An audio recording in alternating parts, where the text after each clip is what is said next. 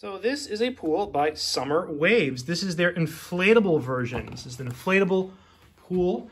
Um, you can get these in different colors, I believe.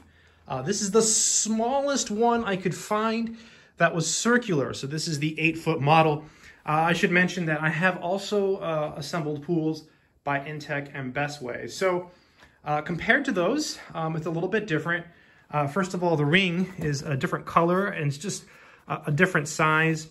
Uh, secondly, the smell. Uh, this has a very, very strong smell. It smells like plastic, and the smell is much stronger uh, on this one than compared to uh, the Intex and Bestway pools. And I should mention that I have installed pools, or rather put together pools that are the same model. So I looked at their, um, their you know, fast set, quick set models from Bestway and Intex, and this is the quick set from Summer Wave. So uh, overall, I think it's comparable. This is where you inflate it.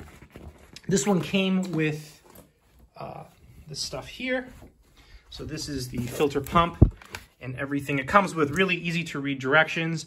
Uh, the directions do warn uh, about you know making sure you have a flat ground, uh, no sharp objects or, or anything like that.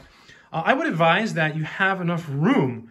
So again, this is the eight foot one and it's taking up almost this entire living room. So um, you want plenty of room. So if you get an eight foot model, Make sure you have, you know, tons of room for this pool uh, because you'll need room. Another thing I recommend is to get an electric pump. Um, I used a pump uh, by another company, actually, uh, not by not by uh, Summer Waves, by Intex, uh, to fill this pool. And it basically uh, just plugs in here and you hit the button and you're good to go. You can use an electric one or a manual one.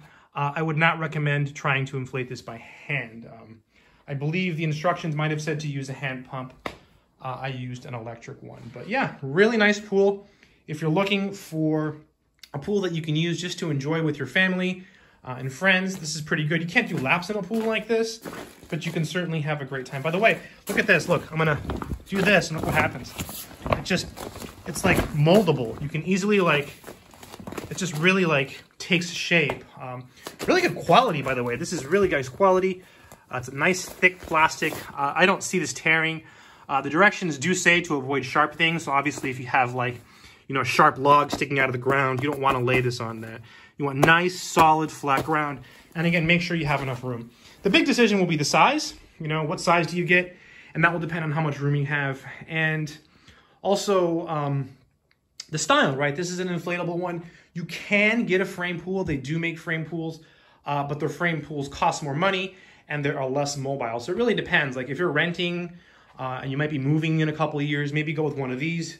It's really easy to take up, uh, to, rather to put up and take down, and the frame ones take a little bit more work to do. But yeah, really nice pool and really impressed with the quality. Take care.